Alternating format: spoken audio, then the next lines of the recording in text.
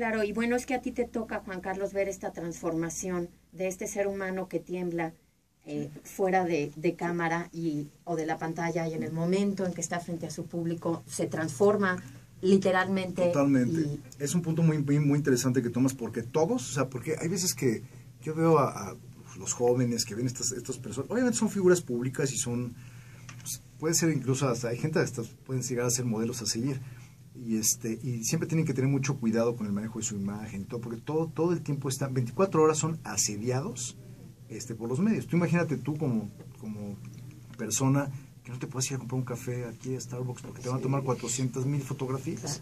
Entonces eh, debe ser una, una vida de verdad muy muy difícil. Pero finalmente lo que quiero decir es que todos son seres humanos todos tienen inseguridades. Me tocó ahorita también esa, el, la, el, el, el, momento que vino Hugh Jackman, vino Halle Berry, me da mucho atención, una mujer tremendamente bella, ¿eh? o sea, una cosa espectacular fuera de serie. Y ella tenía como esta cuestión que era afroamericana y todo el tiempo lo estaba remarcando, cuando nadie le había dicho absolutamente nada. Y había una, especie como de inseguridad hacia, hacia esa parte, ¿no? O sea, finalmente ella también como que quizás haya, haya tenido alguna, una mala experiencia por esto, pero me, me, llama mucho la atención esa parte. Will Smith también, que es un actor que tú lo ves, wow, es increíble también tenía sus nervios antes de empezar una, una conferencia de prensa. ¿eh? O sea, lo que voy con esto es que todos son seres humanos, igual que, que, tú, que yo, que toda la gente que nos está escuchando. Todos son, son seres humanos, pero obviamente ellos también han hecho un gran sacrificio, un gran trabajo para lograr lo que tienen. Y eso es básicamente el precio que uno tiene que pagar si quiere lograr lo que uno quiere. Juan Carlos, iniciamos esta plática y tú nos decías que quizá el, el secreto no secreto, pero digamos la, la estructura de cuál es el camino para llegar al, a lograr los sueños, el éxito, es justamente el esfuerzo. Platícanos, ya que tocas el punto de esta parte humana de los actores, ¿qué pasa con esta parte humana de los distribuidores? ¿Qué pasa con esta parte humana de Juan Carlos y ese esfuerzo que tiene que hacer todos los días? Pues fíjate que digo, tocas un tema sumamente importante porque así como toda la gente que nos está escuchando, yo, yo estudié aquí, yo estudié de 1990 a 1994, salí en el 94 y este, con muchas expectativas, con muchas cosas, con grandes sueños y de repente me topé con una pared muy, muy, muy fuerte, el año 95, me toca de las peores crisis económicas, el, error de, famoso error de diciembre y durante ese año estuve haciendo este, pues, entrevistas en todas las compañías que se pueden imaginar desde Hewlett Packard, IBM, este, bueno, hasta en fábrica de velas estaba yo buscando trabajo. Hice, de verdad, durante todo ese año estuve haciendo más de 120 entrevistas, pero la verdad es que cometí un, cometí un craso error, que era, voy a conseguir trabajo porque voy a conseguir trabajo. ¿Pero qué? ¿Pero por qué vas a conseguir? ¿Qué trabajo quieres? ¿Qué, qué es lo que te gusta hacer? ¿Qué es lo que más, te, qué es lo que más este, amas en la vida? No, no, yo no me quiero conseguir trabajo. Entonces, obviamente, pues iba en una espiral de, de, de, estar buscando trabajo y al final tuve 120 entrevistas de trabajo, pero este, pues obviamente ninguna se concretó. Y hubo un momento en que dije, oye, a ver, estoy, estoy totalmente mal, estoy mal enfocado. ¿Qué es lo que más me gusta hacer? Y lo que más me gusta hacer es ver películas. Y ahí es donde me voy a, me voy a enfocar. Ahora, quiero decirte que todo este proceso fue, fue difícil, fue complicado. O sea, estar, estar yendo a entrevistas y que te digan que no, que no, que no, que no, que tú no eres, que tú no tienes el perfil, etcétera, fue duro. Y cuando empecé a enfocarme en las distribuidores, fui a Warner Brothers, fui a Paramount Pictures, fui a Universal, fui a Videocine, fui a The Walt, the, the Walt Disney Company. Hubo personas que me decían, tú no tienes el perfil de estar aquí. De veras, no lo tienes. No sé por qué estás buscando trabajo acá. Eh, cuando te vayas, vamos, yo voy a romper tu currículum, porque lo voy a tirar a la basura. Me lo dijeron en mi cara. Y lo agradecí porque por lo menos fueron honestos, ¿no? Sí. Y, y, y tú gente, sabías que ahí no. Pues digo, bueno, no, sí. pues, quizás no, pero pero yo insistía, o sea, insistía en ver que ahí tenía yo que enfocar mis esfuerzos y mi, mi energía de entrar, entrar. Hasta que un buen día, pues se abrió la puerta en 20th Century Fox.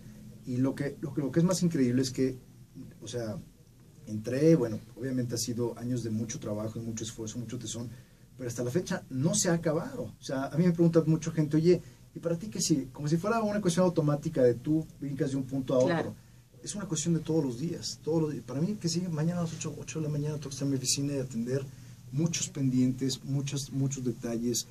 Y hay que tener 100% la disciplina de, de, hacer lo mejor que puede uno cada día. Vuelvo a lo mismo, este medio es engañoso, o sea, tienes, tiene, tiene esta parte eh, muy glamorosa y sabes que finalmente es un trabajo y es un trabajo que se tiene que hacer con toda la disciplina y todo el rigor. que, se, que se tiene que hacer. Eso, ese, es, ese es mi punto, punto de vista, pero, eh, pero para mí ha sido también un trabajo con alto, con muchísimas satisfacciones. Me ha dado muchas cosas y, de veras fuera de serie. Yo estoy, hasta la fecha sigo muy contento y muy agradecido de trabajar donde estoy. Yo, yo trabajo, o sea, yo no lo hago solo, o sea, yo no estoy ahí y este y, los éxitos es Juan Carlos Lazo, ojalá, pero no, les, les, confieso que no. Hay un equipo de trabajo y tengo tengo gente muy capaz, gente que con unas capacidades increíbles, yo los admiro muchísimo, hay gente que en su área no tienen unos conocimientos fuera de serie. Hay gente que, que de cine con, me dice, sabes que con permiso, yo sé más que tú. Y, de esa gente, a, a, mí me gusta rodearme de la gente que sabe más que yo, que es mucho más experta que yo, que, que, tiene, que tiene entusiasmo. Para mí es lo más importante. Si no tienes entusiasmo en lo que haces, no hay manera, se lo repito, no hay manera que lo vayas a hacer. Si, si tú el día de mañana, unos alumnos de comunicación de la Universidad de Anáhuac salen y van a vender, digo, o sea, todo mundo puede, puede vender, hacer cualquier cosa, pero te tiene que, que gustar. Si vas a estar en un lugar donde dices, bueno, pues es que pues no, ya no quedó de otra, no, olvídalo es totalmente diferente la visión de me levanto para ir a trabajar a me levanto para ir a hacer eso que más me gusta. 100%. Mira, y me acaba de pasar. se llama mi trabajo. Me acaba de pasar, justamente, y se lo comenté a una persona, me acaba de pasar este lunes. O sea, llego a la oficina y de repente me encuentro una persona que trabaja, no voy a decir quién, que trabaja en una compañía hermana. Hola, ¿cómo estás? Pues aquí, sí, una cosa, hace cuenta que estaba, estaba cargando una cruz este, este, este, este, pobre, este pobre hombre. Pues aquí en lunes, aquí sufriendo válgame, es lunes. Yo la verdad, pues, estoy muy contento, estoy, agradecido de que estoy aquí, tengo, tengo mucho interés como le fue a la película de Derbez, quiero ver los resultados, quiero ver qué pasa, qué el plan, y tengo que discutir esto, Y es otra visión completamente distinta. O sea, yo, yo realmente de veras me gusta, me apasiona mucho y trato de alguna forma de transmitir a toda la gente, a toda la gente que estudia, esto. O sea, luchen por lo que quieren, porque hay muchas veces que se pueden dar por vencidos a la mitad. Y, y, es muy fácil, ¿eh? Es muy fácil decir, ¿sabes qué? Ya, ya, ya, intenté, ya hice, yo quiero ser escritor, pero pues ya, ya, ya mandé dos, dos, no me aceptaron, dos, no. No hay que mandar 100, hay que mandar 200, 300, 400, hasta que realmente se haga. Obviamente es, el, es como, como dicen en inglés, talent is overrated. O sea, sí, claro que hay que tener un talento, pero hay que explotar ese talento. O sea, y, hay que tener una disciplina espartana de hacer las cosas todos los días. Hay un precio que se tiene que pagar, a fuerzas, no no hay de otra. ¿Cuál es ese precio que Juan Carlos ha pagado después de 400 proyectos? Pues no, fíjate que no.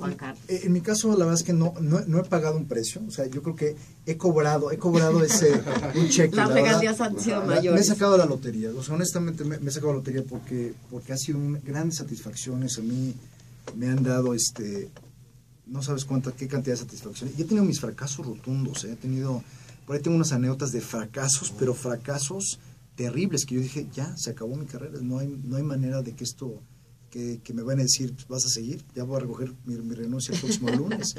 Pero afortunadamente, este, pues, se han cometido errores, pero siempre con una, eh, ha sido didácticos y siempre se, se ha, este, se ha arreglado y, y he trabajado con, con el, la mayor, el mayor rigor y la mayor disciplina posible. Y como bien dices, bueno, eh, los fracasos existen, están, no se borran, pero no hay que permanecer en ellos, hay que dejarlos pasar. Al igual que el éxito es temporal. ¿eh? Claro, esa es la parte interesante de esto, ¿no? Ambas situaciones, tanto el éxito como el fracaso, son de un proyecto en particular y no de una vida profesional. No, un, un, fracaso, mira, y hablando de, también de cine, de comebacks, Robert Downey Jr., Hace seis, seis, años no daban un centavo por este hombre. Ya decían, ya está acabada su carrera, se acabó ya, es un drogadicto perdido. Y no, ¿sabes qué? Regresa y ahora es un hombre de los más exitosos, es Iron Man, es un... Es el que mejor cobra en Hollywood. mejor cobra en Hollywood, es una locura, el hombre está limpio completamente, y como dice, ¿no? Digo, eh, todo santo tiene un pasado y todo pecado tiene un futuro, o sea, ¿sabes qué tiene? Se redimió este hombre y qué bueno, es, una de las historias, a mí me encanta la historia del comeback la, gente que dice, ya no hay, no hay, ya este hombre ya no, no hay manera, y surge y resurge entre las cenizas como el ave fénix y, y, triunfa. Esa historia me encanta, esa es una historia, son historias reales. Y fíjate que no, son historias de, de, de, los grandes actores, son, son historias que vemos todos los días, ¿eh? Claro. Todos los días en este país. Y como bien nos dices, The Comeback. Vamos a un corte y regresamos con Juan Carlos Lazo aquí en el 1670 de AM Radio Navarra.